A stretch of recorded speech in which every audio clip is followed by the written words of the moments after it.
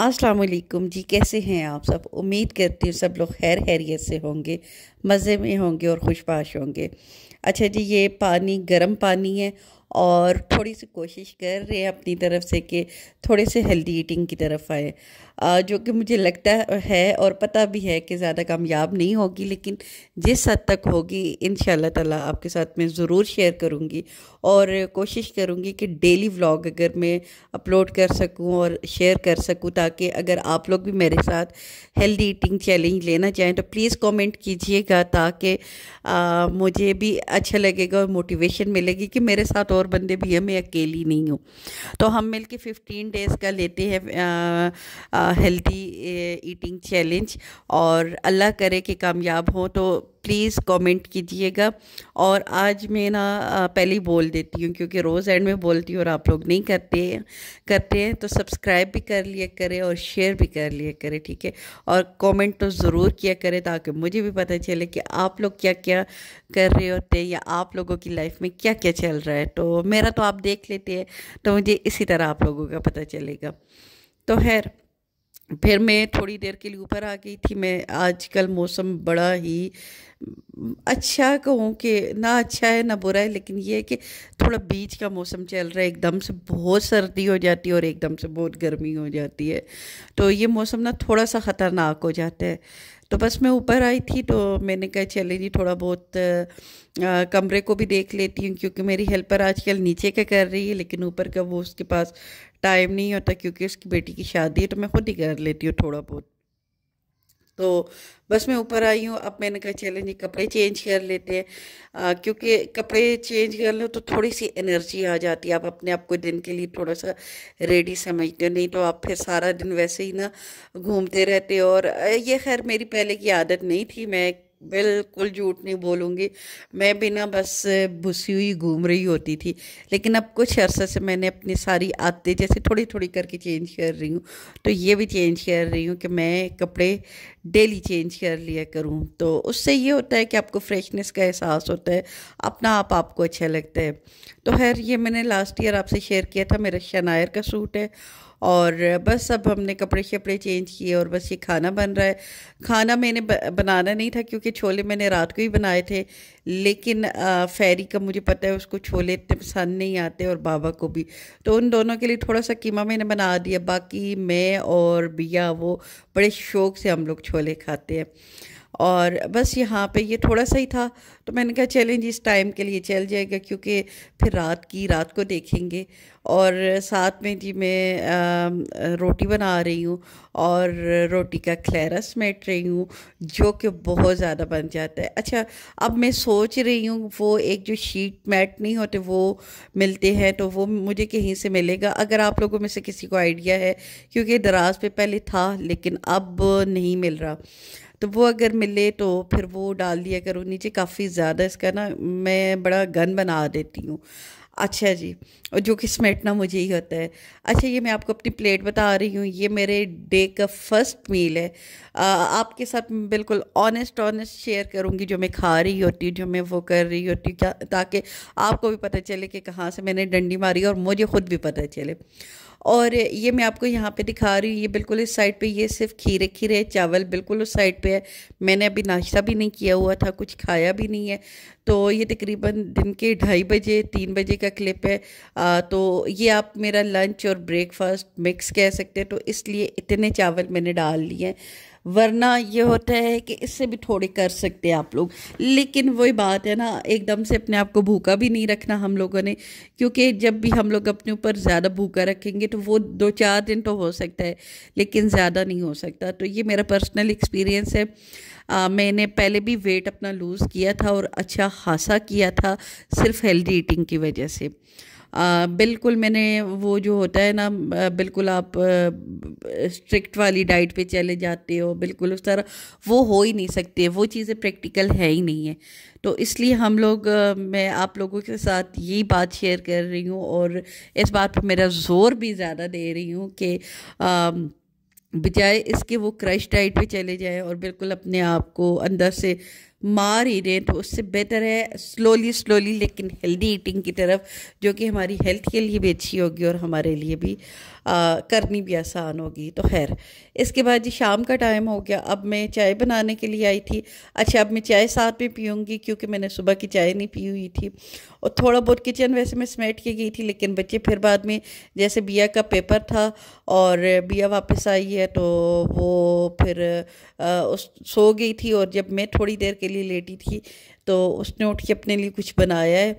तो बस वो चीज़ें इधर उधर आपको पता हो जाती है। तो थोड़ा बहुत स्मेटा स्मार्टी किए और ये साथ में मैं इमली की चटनी चटनी तो नहीं, पानी बनने के लिए रखा है क्योंकि फेरी ने इतने दिनों से मेरा ना बस पीछे लगी हुई थी मामा गोल गप्पे गोल गप्पे और मेरे बच्चे बाहर के गोल गप्पे नहीं खाते जब से मैंने उनको बना के देने शुरू किए।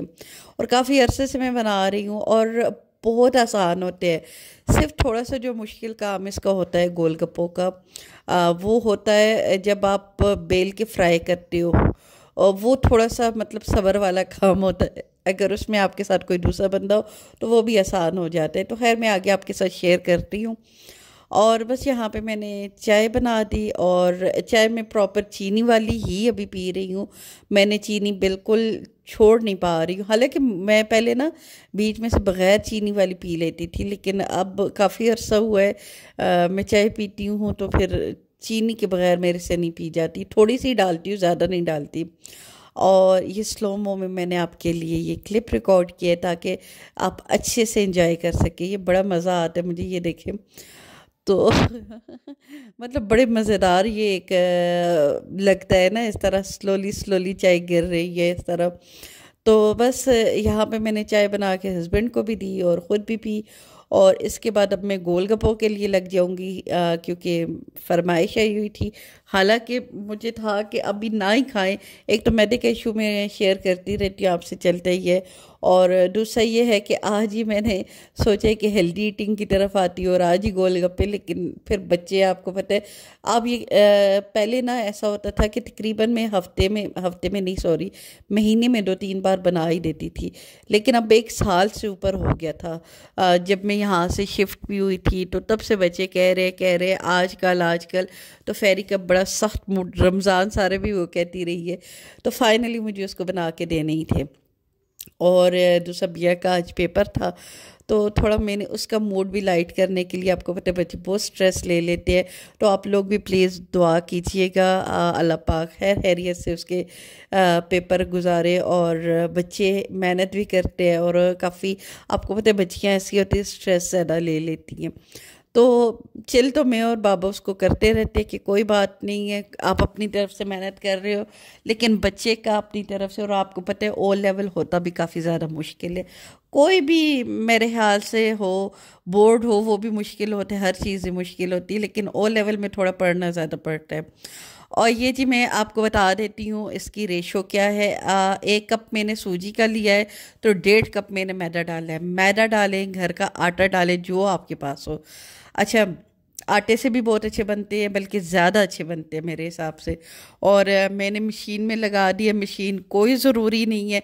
आप लोगों को लगेगा कि नहीं जी फैंसी मशीन होगी तो तभी काम होगा बिल्कुल नहीं। आ, ये तो मेरे पास थी और फ़र्स्ट टाइम मैंने यूज़ की है। नॉर्मली मैं हमेशा तकरीबन सात आठ सालों से बना रही हूँ और हाथ से ही गूंद के बनाती हूँ। ठीक है? हाँ थोड़ी सी मेहनत इसमें ज़्यादा लगती है क्योंकि सूजी के जो ग्रेन होते हैं ना उनको जब आप हाथ से मसलते हो लेकिन खैर है हम लोग कौन सा डेली बनाते हैं? तो इसलिए ये मैं इसलिए ये बात कर रही हूँ कि मशीन का होना कोई ज़रूरी नहीं है कि हाँ जी मशीन होगी तो तभी बनेगी। बिल्कुल नहीं ये फ़र्स्ट टाइम मैंने मशीन में बनाया है। हाँ ये आसानी हो गई कि वो जो सही वो ज़ोर लगता है गूंदने के लिए तो वो मेरा नहीं लगा। तो हो तो बहुत अच्छी बात है ना हो तब भी काम तो चलता ही है। हम लोग तो आपको पता है जुगाड़ू लोग के कोई ना कोई जुगाड़ लगा ही लेते हैं। अच्छा जी आ, और इसका आटा ना आप बहुत सख्त करेंगे ना आप बहुत नरम करेंगे। थोड़ा सा आप ढीले वाली साइड पे कर सकते क्योंकि सूजी थोड़ी देर बाद आप जब इसको रेस्ट देने के लिए रखेंगे तो ये थोड़ी सी फिर सख्त हो जाती है। तो आप बहुत ज़्यादा नहीं, लेकिन हल्का सा नरम वाली साइड पे रख लें और फिर इसको आधे घंटे के लिए आप रख दें तो उस दौरान ये थोड़ा सा आटा एक दूसरे में मिक्स हो जाएगा सूजी और आटा तो फिर थोड़ा सा आ, हो जाएगा। अच्छा फिर मैंने इसकी एक रोटी बनाई है थोड़ी बड़ी करके। उसको मैंने कुछ आप लोगों ने देखे छोटे वाले मैंने लिया है ढक्कन मेरे पास और कुछ थोड़े बड़े वाले। छोटे वाले क्योंकि छोटे बच्चे जैसे फेरी है वो बहुत बड़ा वाला अगर गोलगप्पा होगी तो वो नहीं खा सकेगी तो उसके लिए।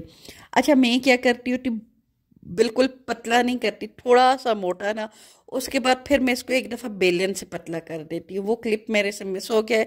मैंने प्रॉपर आप लोगों के लिए बनाया था। अच्छा हो क्या रहा था ना, मैंने फेरी को कहा कि अचानक ही प्लान बन गया था। अगर तो मेरा प्लान होता प्रॉपर मैंने वीडियो के लिए बनाना है। तो फिर मैं इसकी सेटिंग करके उस तरह रखती ना मतलब वीडियो इतनी आसान नहीं होती बनानी, जितनी हमें लग रही होती है। उसके लिए प्रॉपर तैयारियाँ करनी पड़ती हैं। आपको प्रॉपर कैमरे के लिए वो मतलब अगर आपके किसी काम में दस पंद्रह मिनट लग रहे हैं तो वो अगर आप वीडियो के लिए बनाएँगे तो आधे से पौना घंटा आपका लगेगा ही लगेगा। लेकिन इस टाइम में थोड़ा जल्दी में थी और वही बात फैरी ने सोना भी था, वो दिन को भी नहीं सोती है। तो इसलिए मैं बस जल्दी जल्दी बना रही थी। ऑयल इसका बहुत गर्म होना चाहिए और फिर आप इसको बस डालते जाएँगे और थोड़ा सा इसके साथ आप अंदर की तरफ़ इसको डिप करेंगे और ऑयल थोड़ा सा ज़्यादा रखेंगे, तब भी आसानी से गोलगप्पे बनेंगे। तो बस ये थोड़े थोड़े टिक्स एंड टिक्स नहीं, ट्रिक्स एंड टिप्स, ठीक है? तो वो है जिनको हम फॉलो करके तो बन जाते हैं, बहुत अच्छे से बन जाते हैं और बहुत आसान होते हैं। सिर्फ़ मुश्किल काम इसका एक ही होता है जो थोड़ा सा सब्र वाला होता है, जैसे मैं आज बिल्कुल अकेली थी तो वो आके बोरिंग हो जाता है। बेलो और फिर वो करो, वो अगर आपके साथ कोई बंदा हो, जैसे पहले मेरी नंद होती थी, जब उसकी शादी नहीं हुई नहीं हुई हुई थी तो हम दोनों मिल के ना, आधी रात को भी हम लोगों का प्लान बनता था तो हम लोग बना देते थे। और फिर इन्जॉय भी बहुत करते थे। बात वही है कंपनी अच्छी हो, साथ में आपकी मर्ज़ी का बंदा हो तो फिर ये, तब ये काम होते हैं टीम वर्क से होते हैं। और फिर नॉर्मली ये होता है आजकल, जैसे कि मेरे साथ बिया लग जाती है तो गप्पों में और बातों में पता नहीं चलता। तो आज ये जैसे बिया के पेपर्स थे तो उसको तो मैं ज़रूरी काम के लिए भी नहीं बुलाती तो ये तो खैर था ही इस तरह का काम। तो बस इसलिए थोड़ा सा हो जाते लेकिन वो भी कोई इतना बड़ा मसला नहीं है कि आप बिल्कुल ही ना कर सके। तो ये है कि बहुत अच्छे बने थे। आ, मैं कह सकती हूँ ninety nine ninety eight percent मेरे सारे फूले थे और हमेशा फूलते हैं। और सिर्फ़ जैसे अगर मैंने पचास बनाया तो तकरीबन तीन से चार सिर्फ़ चिपटे बने बाकी सारे फूले थे। तो बस इसके बाद फिर बच्चों ने यही खाया, यही उनका खाना हो गया, काफ़ी हैवी हो जाता है। और ऊपर हम लोग आगे फिर मैंने कहा, चलो बच्चों को अब सो जाए। अच्छा रात को मैं ऐसी चीज़ें वैसे अवॉइड करती हूँ, लेकिन अब बच्चों ने कहा है तो वही बात है, किसी वक्त बंदा कर लेता है तो कोई मसला नहीं है। और बारिश जमा झम ये देख ले, इतनी बारिश हो रही है, इतना अजीब सा मौसम हो रहा है। सर्दी है और बहुत शदीद सर्दी हो गई है ना। मतलब अब समझ ही नहीं आती, बंदा क्या करे? तो बस अब इसके बाद में लाइट सारी ऑफ़ करूँगी और बस देखूँगी, बच्चों को देखा है, सारे बच्चे सो गए अभी मैंने कहा, चले फैरी को देख लूँ, क्योंकि बाहर बादल इतने ज़ोर से गर ही रहे थे, मैंने कहा डर ना जाए। तो बस अब मैं ये फेरी के रूम में जाऊँगी और फेरी इतने मज़े से सो रही थी, अपना लैंप ऑन करके। अच्छा इसका ये लैंप है और बहुत ही मज़े का लगता है ये रात को ना, और अच्छी इसकी इतनी रोशनी है कि बच्चा मतलब डर न डरता नहीं, आसानी से सोता है। तो बस इसका कंबल शंबल ठीक किया। तो बस यही थी मेरी वीडियो।